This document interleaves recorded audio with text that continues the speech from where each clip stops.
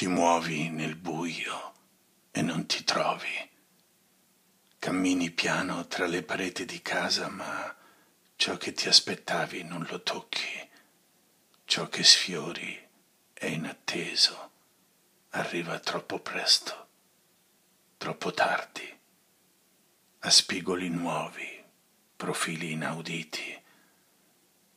Allora cerchi a tentoni l'interruttore più vicino, accendi un attimo la luce per orientarti, solo un attimo per non svegliarti del tutto, e quell'attimo ti basta per individuarti, per riconoscere il tragitto un istante prima che scompaia, per incidere nella tua mente la planimetria del buio e riprendi ad avanzare con la certezza di ogni passo, di ogni gesto, tra forme di cui ti fidi, convinto di sapere la strada nell'invisibile, ma a farti andare avanti è solo il ricordo di quell'attimo, a guidarti è solo